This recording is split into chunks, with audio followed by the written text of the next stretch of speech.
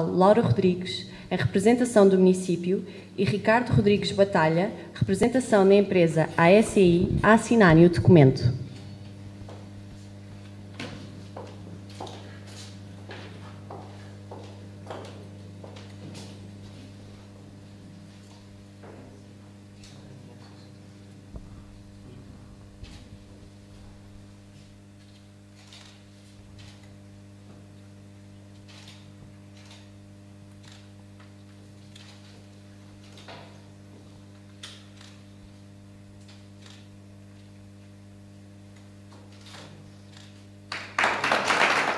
Convido agora a usar da palavra a Presidente da Câmara Municipal de Torres Vedras, Laura Rodrigues.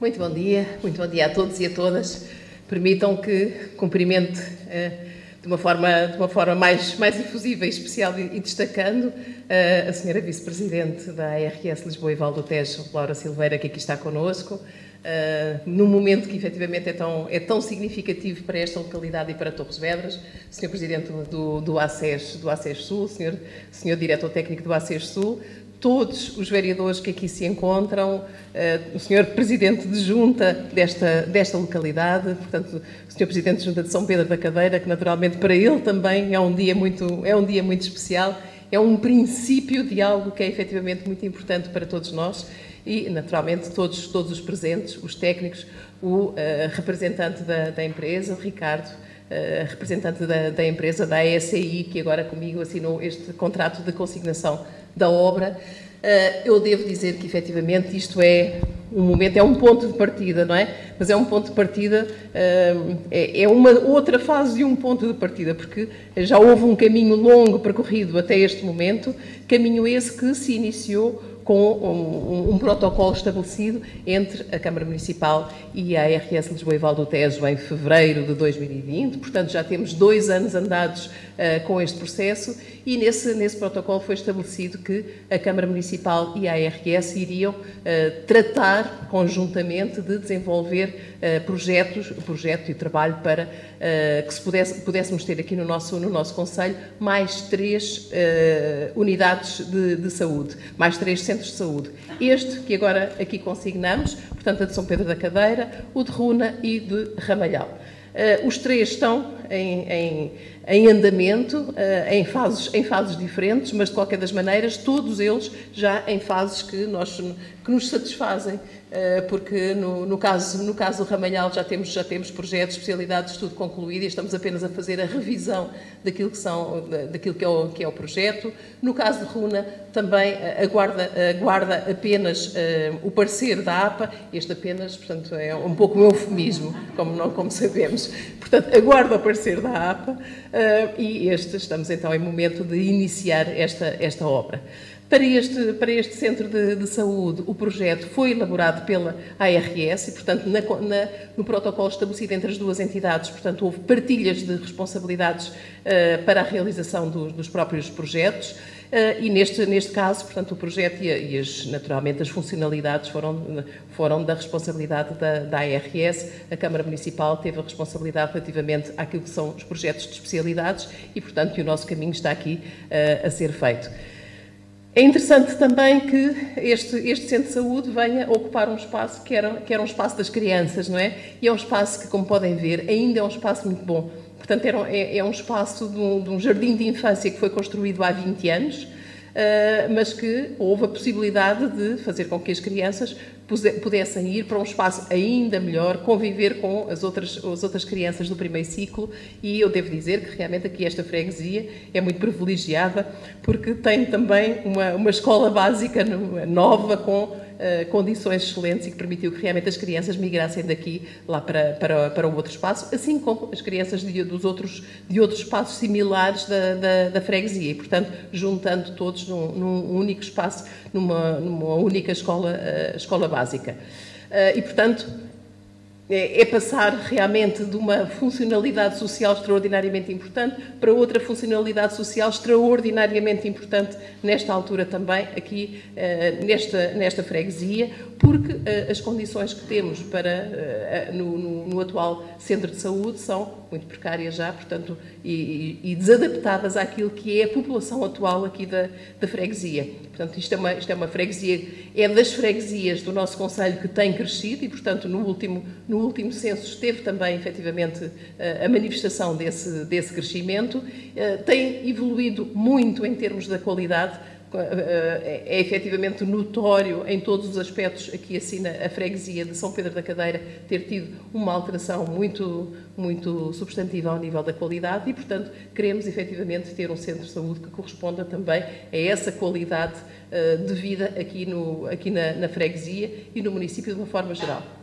É claro que não podemos, não podemos ter aqui a, a, qualidade que queremos se efetivamente não tivermos os médicos de família, se não tivermos os profissionais de saúde necessários para que realmente uh, uh, o serviço pode, possa ser prestado. E nós sabemos sempre que quem faz diferença são as pessoas. Portanto, as instalações são fundamentais, são extraordinariamente importantes. É muito bom estarmos aqui neste momento e é muito bom que venhamos a ter aqui um centro de saúde uh, com instalações de referência mas é muito importante também que consigamos que os médicos de família se possam fixar também aqui nesta, nesta freguesia. É uma freguesia que não tem tido problemas uh, substantivos no, na, na, na, fixação dos, dos, médicos de família, mas que neste momento já temos realmente uh, problemas a esse nível. Portanto, até agora as coisas têm, tinham sido as freguesias onde normalmente não, não falávamos muito sobre as questões do, dos médicos de família.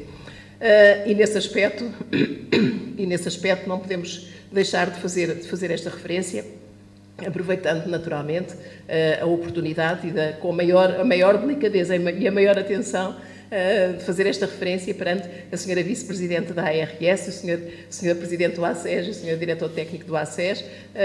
que são pessoas que conheço e que são da maior urbanidade e da maior atenção para a resolução dos nossos, dos nossos problemas aqui no, aqui no Conselho e nas, nas nossas diversas freguesias, mas relativamente às quais, portanto, existem, existem estas responsabilidades e, portanto, naturalmente que têm que ser também porta-vozes destas nossas preocupações perante o Poder Central. E isto, na, na minha modesta opinião, é esta, esta altura em que nós vamos ter um governo que é um governo de maioria absoluta, que se que irá tomar posse dentro de breves dias, amanhã, creio. Uh, e, portanto, que tem uma, terá uma equipa no Ministério da Saúde, que é uma equipa já conhecedora, portanto, não vem à procura de nada de novo, não vem conhecer aquilo que é o setor. Uh, aquilo que nos, que nos preocupa efetivamente é que esta equipa possa pegar este problema em mãos da melhor forma, da forma correta uh, e com, uh,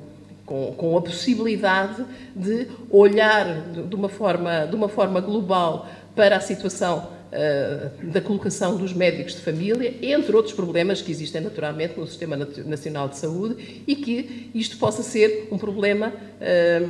que a breve trecho vá tendo resolução. Nós sabemos que é um problema, é, é uma situação que não tem resolução de imediato, mas é, é necessário é, haver medidas que permitam que esta, medidas estruturais que permitam que realmente que esta, que esta situação possa ir sendo dirimida ao longo do tempo e que as populações tenham, possam ter direito àquilo que efetivamente é absolutamente necessário para a sua vida, para o seu dia a dia, que é ter acesso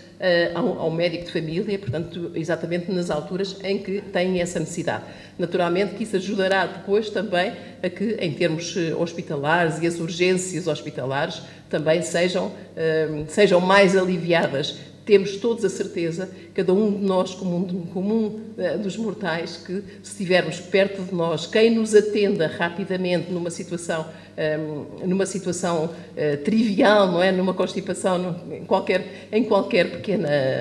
pequeno problema, não há necessidade realmente das pessoas depois uh, correrem às urgências hospitalares e termos as situações das urgências hospitalares que são assoberbadas com problemas que às vezes são questões, questões pequenas em termos de saúde.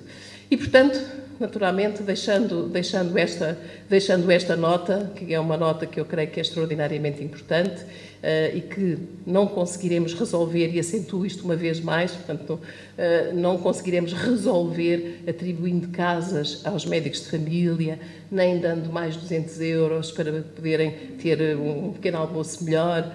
Não é, isto não é sistema não é sistema para a atração de médicos de família. Os médicos de família, a colocação dos médicos de família, são situações de natureza estrutural. Cada município fará o que quiser nos apoios que quiser dar aos médicos de família. Mas isto não é uma situação para resolução do problema existente para a colocação dos médicos de família. Portanto, esta é uma, um, naturalmente uma, um, um apanágio do trabalho daquilo que o Governo deve ter para com brevidade, resolver, ir resolvendo este, este problema. Agradecendo, naturalmente, a todos a presença, uh, agradecendo toda, toda a colaboração que efetivamente têm dado também, no caso particular, sobretudo dos nossos, dos nossos técnicos, para que os nossos projetos possam, possam ir em frente. Eu deixava ainda uma nota dizendo que este, este, este centro de saúde vai iniciar uh, a, sua, a sua construção, a sua a remodelação deste espaço para o centro de saúde, com um valor, uh, como, como já ouviram, que andará perto com o IVA dos, dos 617 mil, mil euros,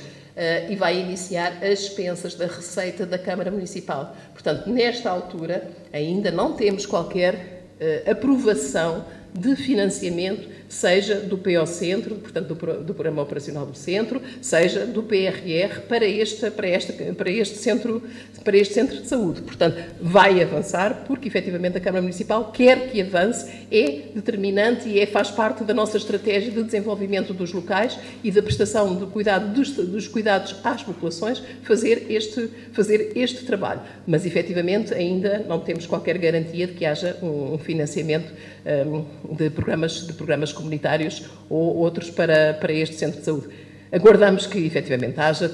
temos quase, temos quase a certeza, era muito pouco provável que realmente isso, isso não acontecesse, não viéssemos a ter, de um lado ou do outro, esperando mais tempo ou esperando menos, mas que esperamos que efetivamente ele venha a existir. Mas nesta altura realmente não existe, mas avançamos porque é efetivamente a nossa, a nossa estratégia, o nosso querer que realmente isto, uma unidade deste tipo possa, possa ter